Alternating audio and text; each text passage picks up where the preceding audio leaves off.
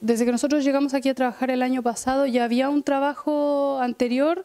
eh, a favor del tema del reciclaje y de mantener lo más limpio posible el lugar, no dejar, o sea, dejar el mínimo rastro posible. Y entonces nosotros tratamos de seguir esa misma línea,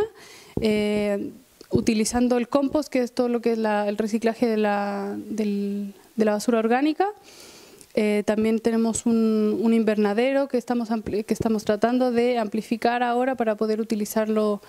durante septiembre, octubre para empezar a sembrar y para en verano ya tener hortalizas propias y empezar a cultivar.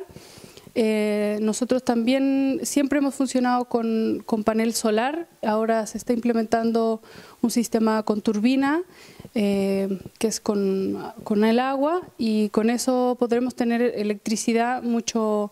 con, con mucha más seguridad para ofrecer a los clientes otro tipo de servicios en lugar de tirar las botellas de vidrio a la basura, las empecé a recolectar y con mi pareja nos empezamos a dar cuenta que había mucha, mucha, mucha, entonces no las tiramos a la basura, la empezamos a recolectar, recolectar, recolectar, hasta que nos dimos cuenta que había mucha, entonces llamé a la MUNI para preguntar qué es lo que se hace con este tipo de basura que en un lugar así tan lejano es muy poco, no se puede reciclar, no la puedes tirar al suelo, no o sea, tirarla a la basura común, corriente, que es en realidad donde nosotros tiramos mucho más plástico, envases, cosas así, es como muy difícil de, o sea, es realmente un, error hacerlo, ¿no? Entonces las tenemos guardadas y esperando un poco a que la municipalidad nos dé el, el, go para que podamos, se puedan entregar a la persona adecuada y se puedan reciclar. También incluso pensamos en algún tipo de construcción porque ahora se hacen muchos, eh, muchas construcciones con vidrio o cosas más como de decoración, con las botellas, qué sé yo.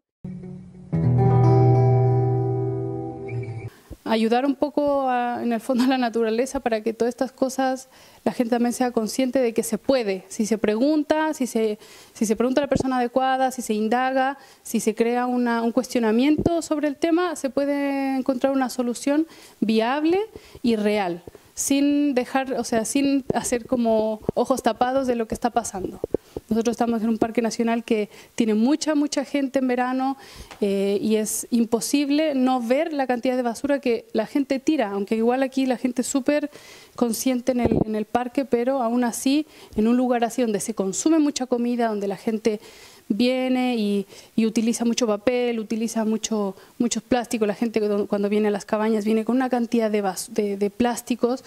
que, que nosotros